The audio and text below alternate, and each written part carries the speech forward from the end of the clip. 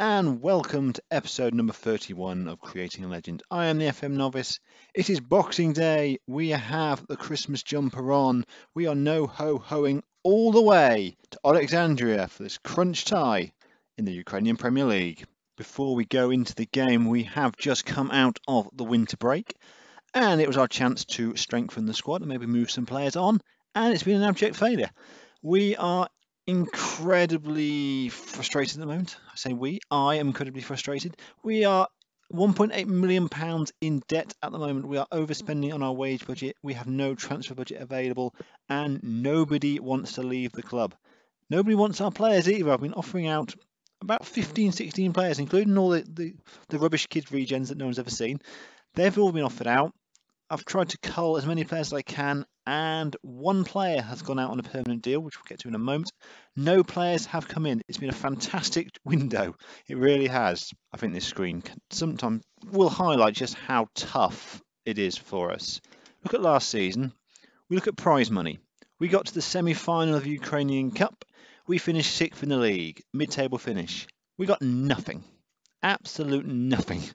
We look at TV revenue even though we have a game on TV pretty much most weeks, we get selected for TV, no money coming in for that. This is a Premier League of a country, and we get no money whatsoever from winning, doing anything, or being on the telly. That ain't right. Surely that ain't right, and it's it's making this challenge very, very tricky. In terms of our projection, it's very consistent downwards we are supremely struggling to compete. We have to effectively get into Europe where we actually do get some prize money for us to have any chance of doing anything financially. But to get into Europe, you've got to spend money. And we are already spending a lot of money. £800,000 last year on wages alone, staff wages of £240,000. Big money for a club of our level. £145,000 on bonuses. So they're getting rewarded for doing really well in the cups, but we're not getting any money in from the league for doing well in the cups. An interesting challenge, this certainly is.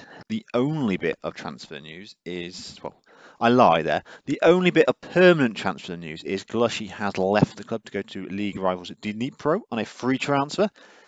I've been trying to get rid of this guy for about a year. He's a decent player for us, but we had better options, so we're trying to get rid of him for about a year. He turned down a couple of clubs who actually paid offered us money. Then someone offered him a free transfer and he accepted. And I just said to the club, okay, you can have him for free now. Gets us off the wage, gets £500 a week off the wage bill for the next four or five months. So we are saving a little bit of money there. Other transfers that have gone on, we've sent a few players to our feeder club, Arsenal Kharkiv. Mikhail Chernik and Ruslan Mikhailov, two of our better younger talents, are now out on loan to other clubs for the end of the season. And Leonard Bolin has gone back to Sweden for another six months or so. Neither three of those guys are anywhere near our first team as yet, but we have high hopes for the future. And as you can see, transferred in, none. So the team for today's game is Eugene Past in goal, a back four of Gelchik at right back, Kravchenko at left back, Stavok and Jose Luis at centre half, Kizil from the right hand side with Isa, Skoblov and Skalash in the middle, Miganov on the left wing with Denis Vedrodenko up front on his own. I always want to say massive game, and this very much is a massive game tonight. We lost them early in the season. Van Basten scoring the goal that lost us, and we lost 2 0 in the end. So this is a, as I say, crunch game. First 10 minutes, nothing much is happening. We always relatively slow starters, but there's a free kick. Shusko switches the play. Poliaris on the ball. He's been closed down well by Miglov. Back inside to Andrievskev. Good tackle. Jose Luis knocks the ball long, but it's given back to, the, to Olexandriya. Crossfield ball intercepted. Marcus Paolo could be in. Marcus Paolo shoots, but drags his shot wide of the post. We are looking in the bargain basement for any potential signings coming in. They have to be unattached, they have to want peanuts, and they have to be pretty decent. So as you can imagine, that's a fairly small pool of players I am looking at at the moment, which is why we haven't seen any signings coming in. I literally can't pay any sort of agent fee, any sort of transfer fee whatsoever. I am literally got nothing. So if you want to join the club, let me know. Pankiv takes a goal kick just before half time. Headed away, but back inside. And Andrew Exensov picks the ball up. Looks for Marcos Paulo. Marcos Paulo can run at the defence. Good play for Van Basten. Van Basten gets Past his man, crosses it in. And it's almost put behind, almost put in the goal. Put behind in the end by Stavok. Just about. Corner. Low corner, flicked on and past takes the ball at his near post. And that will probably take us up to half time. In the last friendly we had, we had absolutely no highlights until the 91st minute and we scored in that one. So I'm not expecting too many highlights today. But it would be nice to score a goal. Kravchenko inside to Isa. Back to Kravchenko. Ball into the box, headed away. Gelchik back inside. Flicked on and it's in!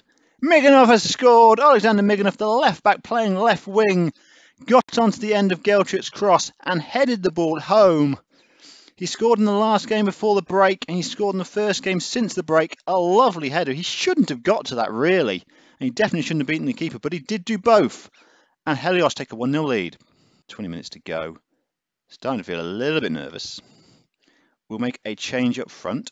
Kulach is going to come on for Bezdradenko.